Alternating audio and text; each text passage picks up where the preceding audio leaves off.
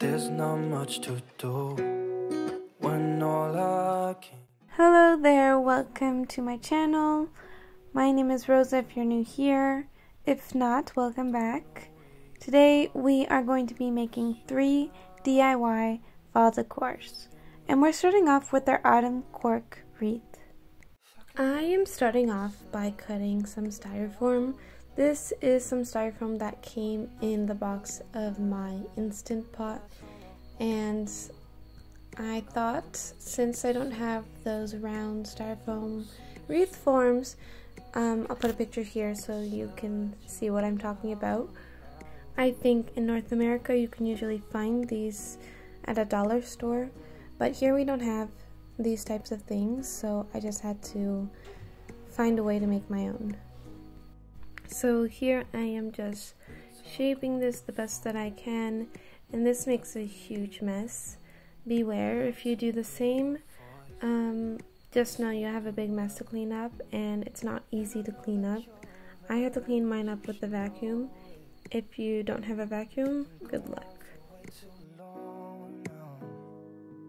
I lay down beside you, I would, that's all I wanna do. I hope that you are safe and that I will see you soon. If I lay Now, I just laid down a tablecloth that I usually use when I paint or do any crafts on top because we are going to be using hot glue for this project and I don't want to ruin my table or my tablecloth. So make sure you just protect your surface. And we are going to get out our corks. Um, I have a lot of corks. If you know someone who works in a restaurant, you can ask them to keep them for you. That's what I do. My uncle works in a restaurant and I just ask him to keep the corks that he uses every day um, instead of putting it in the garbage. It's waste putting it in the garbage. If not, you can find them in store, but it's best if you can find them for free, right? Anyways, I just start gluing it on the styrofoam, and there's no way to do this. I just started gluing them randomly and tried to fit them in like a puzzle. I wanted this to look as um, random as possible, I guess you could say. I thought it looked a lot more pretty this way than it would as a pattern or all in a straight line. I don't know if you can imagine what I'm trying to say. I've seen cork wreaths on Pinterest where they're all lined up and I think this way looks a lot more pretty. But it's really up to you, you do what you want. Now, I did use a good amount of corks. I had um, a bag full, like those shopping bags, the cheap plastic ones that you buy at the store. Um, I had one of those bags full of cork, and I did not use all of them up. I used about half of that bag up. Now, I can't tell for sure how many I used, and I really don't feel like counting it, so. But that's a relative because your styrofoam uh, form could be smaller or bigger than mine, and you could use more or less than I can. Just know that you're going to need a big amount. When you are gluing these, you want to try and hide the glue. So what I would do is I'd first place each cork on the wreath, trying to find its position, and once I knew what position I wanted, I tried to look and see where the glue would touch or where the cork touches so I know in which spots to put the glue and I that way I'd use um, as less glue possible but also enough to keep it stable. And it worked. Just because if you have a lot of glue showing it will be a little um, unpleasant to the eyes. So you can keep that in mind. Another helpful tip is maybe you would like to use, um, you know, some kind of protection for your fingers, some gloves, or I've seen those people use like the finger caps so you don't burn yourself with the hot glue.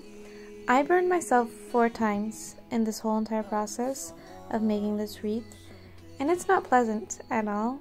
The glue is very hot, it will melt your skin. Just warning you there. If you have the protection, use it.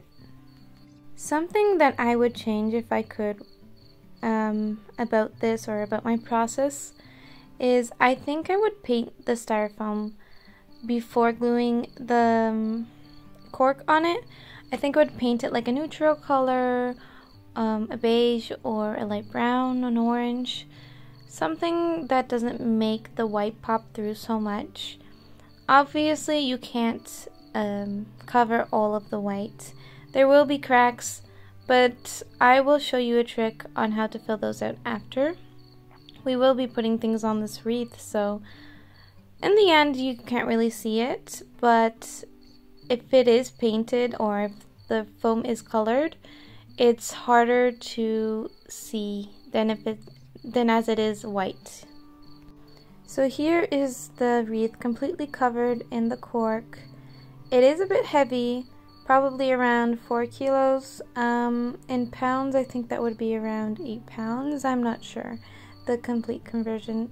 And here I am just showing you a few things that I decided to take out to use to decorate um, my wreath.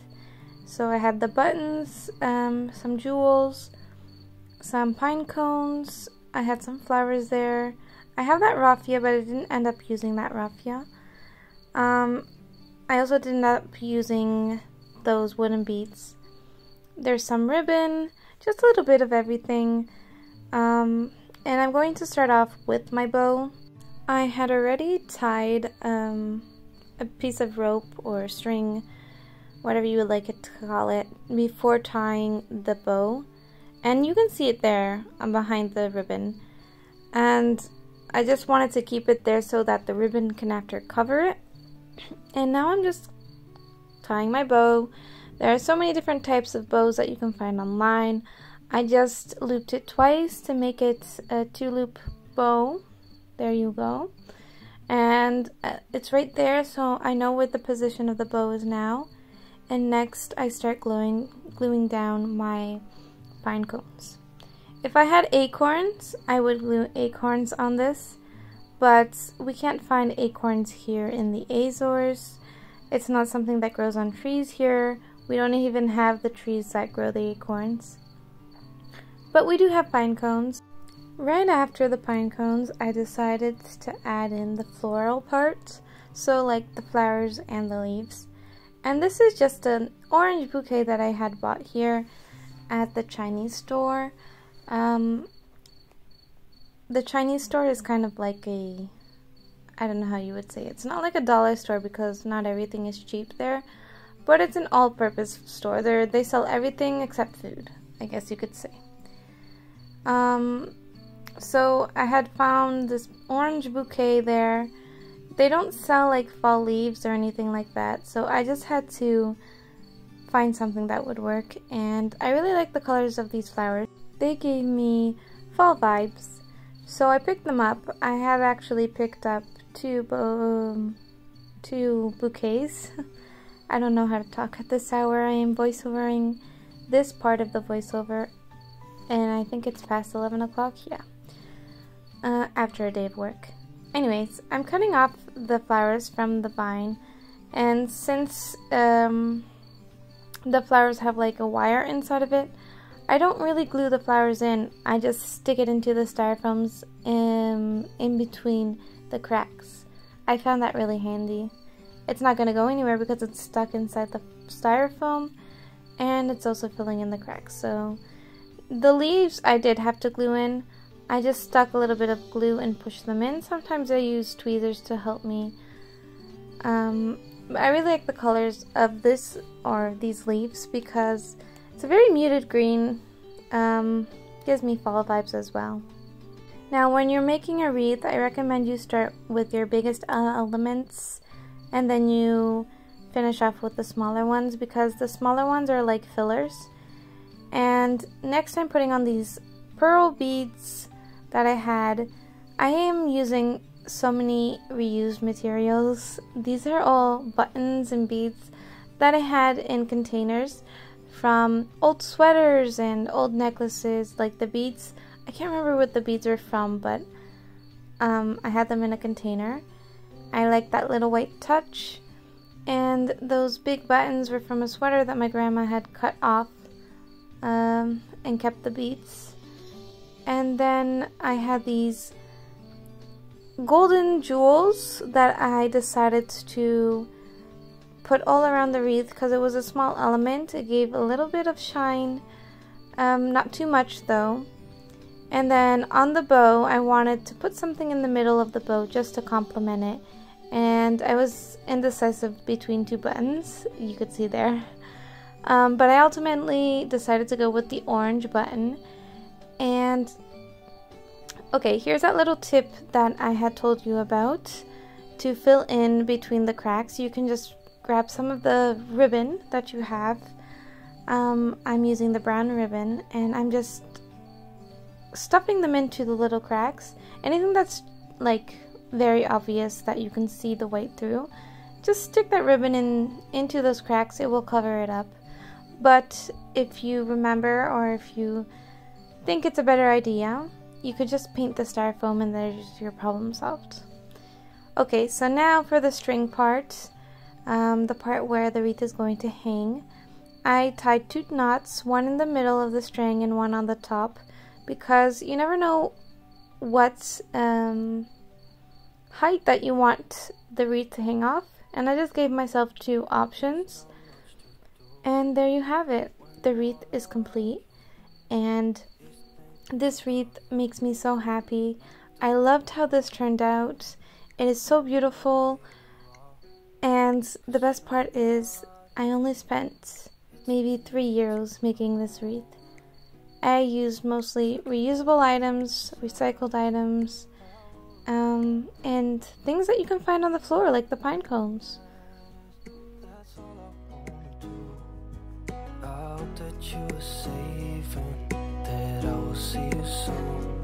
If I could lay down beside you, I I.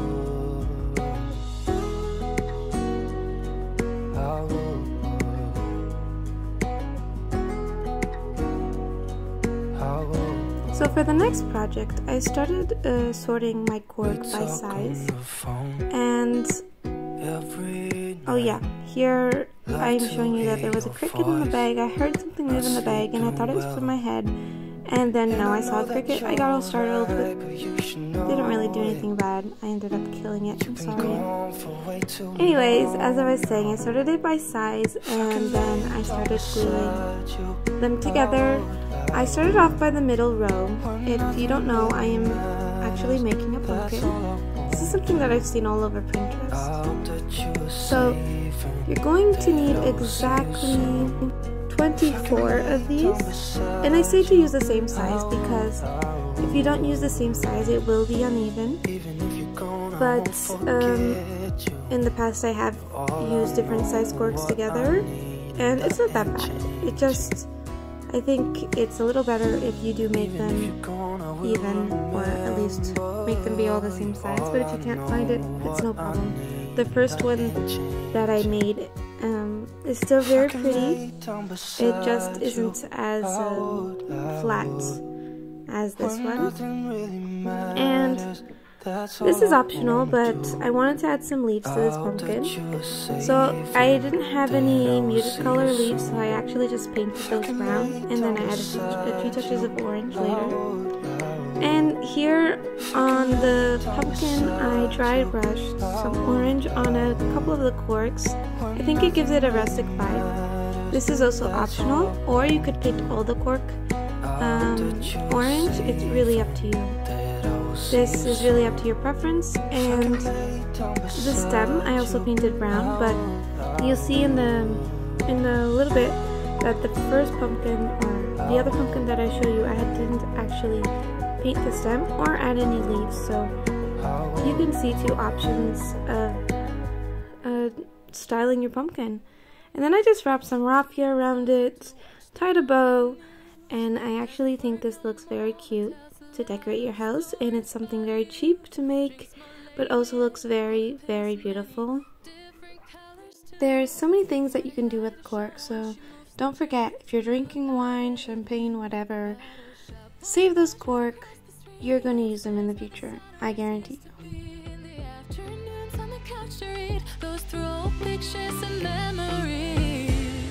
Our heroes have been forgotten. Our heroes so brave and bold. Our heroes have been forgotten.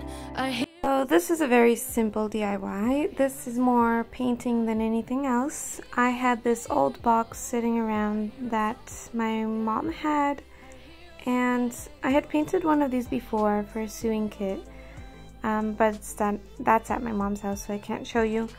Um, but since I didn't have any fall decor whatsoever because I can't find any of that stuff here in the Azores, people don't decorate for fall here, so I just had to kind of make my own, and I thought I see so many signs in Decorate With Me's, and why not paint my own? I thought this box was going to be perfect for that. So then I drew up a design in my sketchbook, and then I sketched it on the box and started painting. There's really no rhyme or reason to this. I don't use that that many colors. I wanted to keep it all in the same color scheme um, I painted the letters brown. I just look up some signs on Pinterest to give me some inspiration. And this is what I ended up coming out with. Um, it's very simple, not that hard to make. It just takes a little bit of time to get that look that you want. But it's a very easy project and I didn't spend any money on this. Um, if you have any pieces of wood laying around home, you could use that to make a sign. It doesn't have to be a box. It can be an old piece of wood, sand it down, and draw on top of it, and paint to your heart's content. If you have a Cricut, you could use a Cricut too with the vinyl. I don't have a Cricut, and I don't know if I'll get one in the future. Maybe, you never know, but I do like to paint. I have a history of painting and drawing, so why not take advantage of the time to paint something, relax? You know, it's a good project too. You can do this with a friend a family member. Anyways, this is my last DIY for you guys in this video. Let me know in the comments below which one was your favorite and if you're going to try to do any of these. I would also like to know, have you started decorating for fall? And if not, when do you usually start decorating for fall? I usually get into the fall vibes in September, but since I've been seeing so many things online already in August, I think I'm getting into the fall vibes a little bit earlier this year. Since it's starting to get a little bit more chilly this week, I am finally, finally actually feeling the fall vibes, so very happy about that. Anyways, this is the end of this video. I want to thank you guys so much for watching. Don't forget to hit that like button and don't forget to subscribe because I'm going to be coming out with so many more fall videos. I cannot wait to start getting into the fall season. Um, yeah, I hope to see you guys next time. Goodbye. You've been gone for way too long. If I could lay down beside you, I would, I would. When nothing really matters, that's all I